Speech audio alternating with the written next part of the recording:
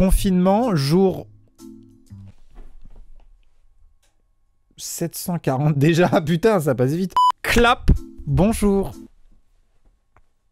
Oui, non, j'ai conscience de l'étrange, euh, l'étrangité l'étrangeté, l'étrangeté, ouais, de ce setup. Voilà, de ce côté Avachi, bien sûr. J'ai fait très longtemps que j'ai pas fait des vidéos assis, mais en fait, je me dis, pendant le confinement, on est tous assis. Donc pourquoi moi je continuerais d'être debout? Je veux dire, moi aussi j'ai le droit d'être confiné. Euh, pourquoi ce serait que les non-youtubeurs qui seraient confinés et pas les youtubeurs? Moi aussi je suis confiné. Et moi aussi je suis dans mon canapé et dans ma chaise gaming que j'avais pas utilisée depuis 7 ans. Alors, évidemment, Internet n'a jamais été aussi utile qu'aujourd'hui, et donc les gens en font très bon usage d'Internet. Et euh, j'ai souhaité, pendant les euh, 3-4 premiers jours du confinement, hein, puisque c'est le, le cas là, au, moment du tournage. Et j'ai souhaité ne pas me spoiler de tout ce que les gens font sur Internet, de, de, toutes les conneries que peuvent euh, faire les êtres humains quand on les enferme chez eux avec une connexion Internet. J'ai dû voir deux vidéos sur les 4, milliards que déjà les Italiens en premier ont commencé à produire, puis les Français, puis les Allemands, puis les Espagnols, puis les Anglais, puis le monde entier. Donc là, clairement, on va pas se mentir, peut-être que vous avez vu toutes les vidéos que je vais regarder. Et vous allez vous dire, mais je la connais celle-là Tant mieux pour toi, pas moi, je ne l'ai pas vue. Je ne l'ai pas vue. Donc regardons ensemble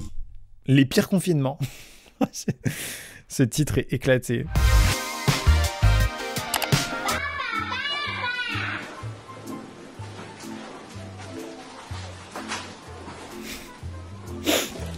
C'est hyper bien fait.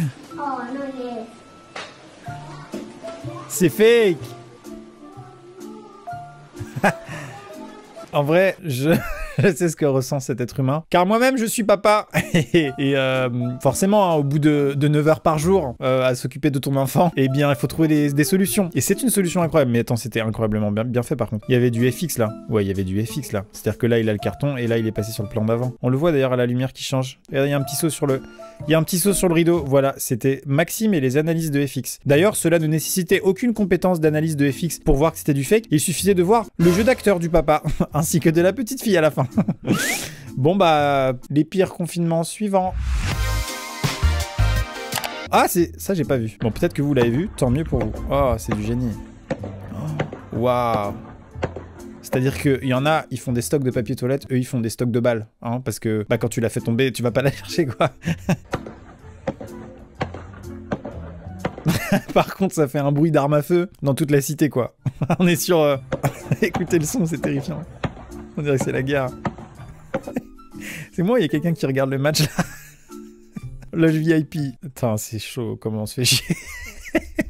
Je suis persuadé que cette personne-là, c'est genre un des meilleurs moments de sa journée. Regardez des mecs qui jouent au ping-pong à travers le balcon, c'est chaud. Oh Il y a contamination là.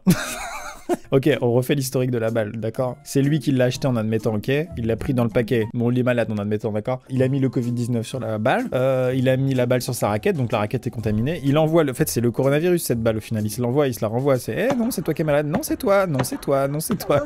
Et là, il a rebondi sur lui, le corona, il a fait. Et il est reparti comme ça, donc je suis pas sûr que... En vrai, jouer pas au ping-pong, je pense qu'il y a des risques. Hein. Ah, dommage. maintenant, le coronavirus est dans la rue. Ah mais tout le monde l'a vu ça. Mais je me demande si ces vidéos ont pas juste datent pas de il y a 6 ans, tu vois. Et il y a des gens qui se sont dit "Et ça, on pourrait croire que c'est quelqu'un qui se fait chier pendant le confinement." Mais celle-là, elle a fait le tour de WhatsApp. Voilà. Cette vidéo, j'ai à peu près 14 oncles et tantes qui me l'ont envoyée. À différents moments du confinement. En tout cas, c'est ça a provoqué déjà, déjà lors du premier visionnage très peu de rire chez moi. Je sais pas pourquoi, mais voilà, hein Oh, ça c'est ça c'est du life hack euh, version coronavirus. Hein. Par contre, fais pas genre que tout est normal, quoi. Ça sert à rien de tenir euh, un café dans la main pour faire genre que ta vie continue. On voit bien qu'il y a un problème, quoi, tu vois. Ça sert à rien de faire genre que tout va bien. Déjà, ta démarche n'est pas normale. Je pense qu'à Wuhan, ils en sont là, ouais. À Wuhan, c'est devenu normal, quoi. Jean-Charles, je trouve que t'es dans ta bulle depuis un moment. Je, je te trouve un peu fermé. Oh là là, quel enfer. Est-ce qu'on va tous finir comme ça? Mais c'est une couche, mais ça ne marche pas. En fait, j'avoue que psychologiquement, on se dit, si jamais on est dans la rue ou quoi et qu'on n'a pas de masque, on va faire ça, tu vois. Et genre, on se dit, c'est bon, quoi, le, virus, il passera jamais à travers mon t-shirt parce que quand même, attends, c'est un quechua, quoi. Enfin, je sais pas. Donc, euh, j'ai reniflé là. Bon, bah, je vais mourir. Parlons des masques euh, FFP2, FFP3. FFP2, FFP3, c'est des normes. Et je le sais, hein, parce que bah, ma femme est médecin, donc euh, voilà, j'ai quelques infos. En fait, c'est juste la densité du maillage euh, du tissu, en fait. Du coup, les trous qui sont dans le masque, hein, parce que voilà, c'est un du tissu, ils sont plus petits que les particules du virus, en fait. Et donc, ça fait qu'ils ne passent pas. Alors que les trous d'une couche ne laissent pas passer le caca, mais pas le coronavirus. Le coronavirus, il passe, mais comme s'il n'y avait rien. Donc, vraiment, les techniques comme ça, ça ne sert à rien. Et en plus, t'as vraiment absolument l'air Ah bah oui, mine de rien, en vrai, les artistes, ce soit musical ou, euh, ou dessin ou musique ou j'ai déjà dit musique ou youtubeur ou j'ai pas moi ou euh, filmmaker ou quoi. J'ai vraiment dit que les, les youtubeurs étaient des artistes. Tous les types d'artistes là ils doivent se régaler pendant le confinement parce que bah ils sont chiés. Et mine de rien je vais le dire et personne n'ose le dire. Non en vrai ça va. En fait c'est une période assez inspirante euh, pour les artistes parce que bah tu te retrouves aux fondamentaux quoi en fait tu vois. Mais quelqu'un qui fait de la musique il, se retrouve juste avec son Mac enfin qui fait de la MAO avec son Mac ou avec ses instruments et, et genre il a plus qu'à créer, il a rien d'autre à faire, il est pas pollué. En fait, il y a beaucoup, beaucoup d'artistes dans notre époque qui sont pollués par un nombre de trucs, de, problèmes qui sont nuls et qui, ralentissent leur euh, créativité, tu vois. Je pense vraiment qu'Internet va produire des trucs euh, ultra intéressants de, cette période. Je pense que vraiment, quand ce sera fini, eh ben, il y aura des trucs super intéressants qui vont émerger de, cette période de confinement. Parce que c'est juste exceptionnel, ça n'a jamais arrivé depuis. Ben, c'est jamais arrivé. c'est juste jamais arrivé en temps de paix, donc c'est fou. C'est incroyable Oh waouh, c'est du génie. Oh là là, j'ai tellement pensé, c'est parfaitement illégal, mais j'y ai tellement pensé à sortir mon drone et aller explorer, les, tu vois, genre faire ma petite balade visuelle, quoi. Rester chez toi comme ça, puis aller te promener avec ton drone en regardant le truc. J'y ai pensé. Voilà, c'est parfaitement illégal parce qu'il faut le garder à vue normalement, mais euh, c'est vraiment du génie. Par contre, pour l'accrocher, il y a forcément eu un moment où, enfin, je sais pas. Ah, sauf si t'as jeté le chien avec le drone par la fenêtre. C'est pas drôle Ça n'est pas drôle. c'est une putain de bonne idée. Bah ça c'est quelqu'un qui se fait affreusement chier.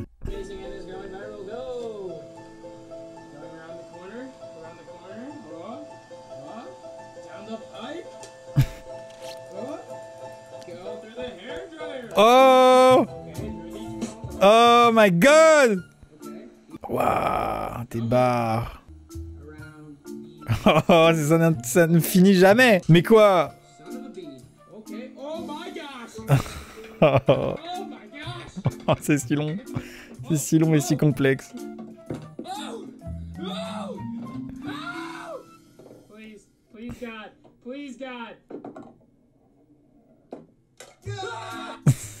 C'était interminable. Vous savez quoi? Cette vidéo, elle m'inquiète. Parce que je tourne cette vidéo le jeudi 19 mars. Ça fait même pas une semaine que le confinement a été annoncé. Et il y a des gens qui en sont déjà là, d'accord? Sauf que là, on est parti peut-être pour 45 jours. Qu'est-ce qu'ils vont faire? Qu'est-ce qu'ils vont faire dans une semaine ou deux? Je suis inquiet pour lui. Et euh, parenthèse, mais euh, j'ai vu que euh, le réseau national français était potentiellement un peu menacé, vu qu'il y a tout le monde qui est en télétravail et tout le monde qui est sur Internet d'une manière générale. Et que du coup, une des solutions, si jamais ça, ça, crache, c'était de, de, couper en fait l'accès à tous les sites qui consomment énormément de, de data, quoi, de ressources voilà, sur Internet. Donc tout ce qui est YouTube, tout ce qui est Twitch et Netflix. bah, du coup, si ça arrive, acheter une balle rebondissante et des feuilles à 4. C'est tout ce que je peux vous dire. Suivant Mais si de ne pénétrer qu'une personne par personne. Oh, magnifique, j'ai pas de commentaire. Suivant Maman, j'ai plus, plus de papier toilette. Est-ce que je peux, je peux en avoir ou pas Hein J'ai plus de papier toilette. Il y a plus de papier toilette. Mais je t'en ai déjà donné hier. Mais euh, moi j'en ai besoin encore. il va falloir que tu fasses attention. Hein. Je peux avoir genre deux feuilles. C'est hyper drôle. Elle joue trop bien. Je peux avoir au moins deux feuilles. je te donne ça, mais tu, tu fais, tu, euh, c'est pour la semaine. Hein. La semaine, j'ai juste ça. C'est hyper drôle. c'est trop drôle, elle est hyper sérieuse. Elle joue très très bien son rôle. Autant le papa du début était nul, c'était le pire acteur, autant je veux qu'on décerne un César de confinement à cette personne. Mais what? Mais il y a vraiment un coach de sport qui s'est mis sur le toit au milieu de la cour. C'est en Espagne. What? C'est incroyable. C'est hyper drôle et tout le monde joue le jeu. Tout le monde joue le jeu. Comment tu fais pour payer la séance à la fin? T'envoies des avions en papier en, billets de 20 euros au monsieur au milieu? Mais c'est quoi leur, euh, leur immeuble aussi, euh, s'il te plaît? C'est le Club Med euh. Non mais vraiment, mais je vais habiter là pendant le confinement quoi, c'est incroyable. Attends, c'est beaucoup trop bien. on n'est pas tous égaux devant le lieu de confinement. je veux dire, il y a des mecs... Ouais non, il y a des gens qui ont un peu plus de chance que d'autres. Hein. Euh...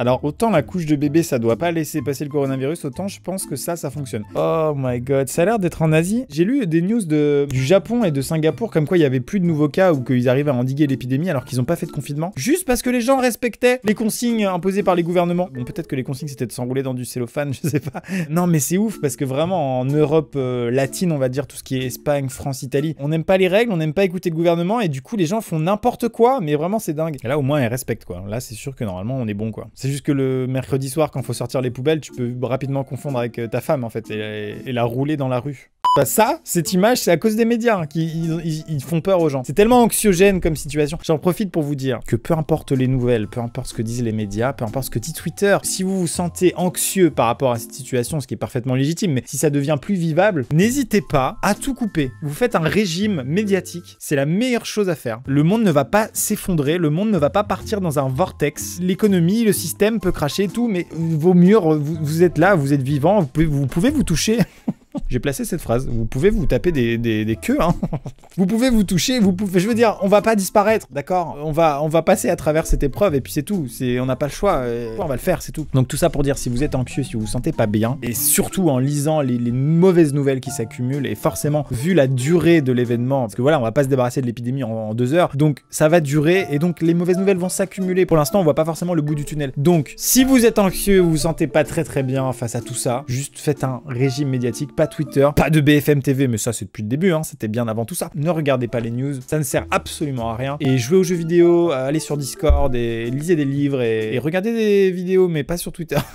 Instagram est beaucoup moins anxiogène, je trouve. C'était les petits conseils de Maxime, on passe à la suite. Et dites-moi, est-ce que dans l'eau de personnes qui regardent actuellement, il y aurait pas une partie non négligeable de gens qui se font tellement chier que d'habitude ils ne regardaient pas cette chaîne et du coup ils se sont dit bon bah là j'ai plus trop le choix. Et du coup, peut-être, peut-être, je, je, attention, ce ne sont que des hypothèses. Peut-être qu'il y en a qui seraient pas abonnés. Voilà, auquel cas il faudrait éventuellement euh, bah, s'abonner, voilà, à cette chaîne. Si c'est pas déjà fait, attention. Petite cloche, toutes les notifs, ça fait plaisir pendant qu'on y est. Voilà, c'est une petite parenthèse qui, qui casse les couilles à 90% des gens qui regardent parce qu'ils sont déjà abonnés. Effectivement, j'en ai bien conscience. On continue. Ah oui, ça, ça fait partie des deux vidéos que j'avais vues. C'est excellent. C'était tout au début, c'était avant le confinement, quand les gens pouvaient encore aller à l'aéroport. Rappelez-vous. En fait, un aéroport, c'est un endroit où les avions décollent. Les avions, c'est une espèce de gros véhicule. Il y a une image qui s'affiche actuellement sur votre écran avec des ailes sur les côtés et tout. Et on pouvait, euh, à l'époque hein, voyager avec et genre changer de pays. Imaginez, genre, genre passer des frontières. Enfin, le truc de ouf quoi. Les plus vieux s'en souviennent.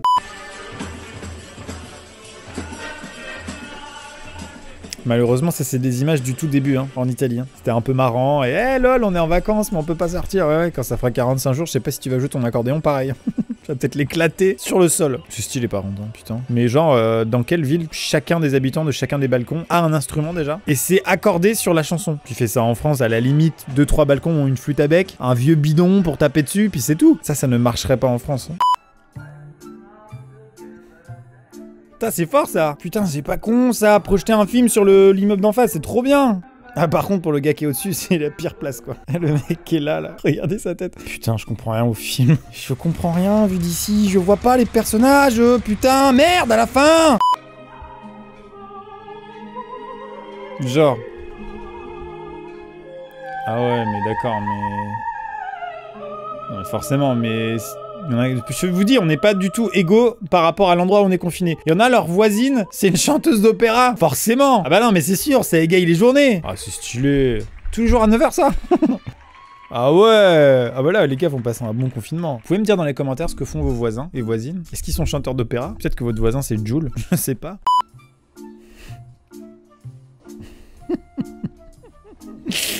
Ça c'est la meilleure combinaison qu'on a vue depuis le début. Sincèrement, les costumes gonflables, c'est la meilleure idée que l'être humain ait eue depuis euh, aller sur la Lune peut-être, découvrir l'Amérique à la limite, mais encore, hein.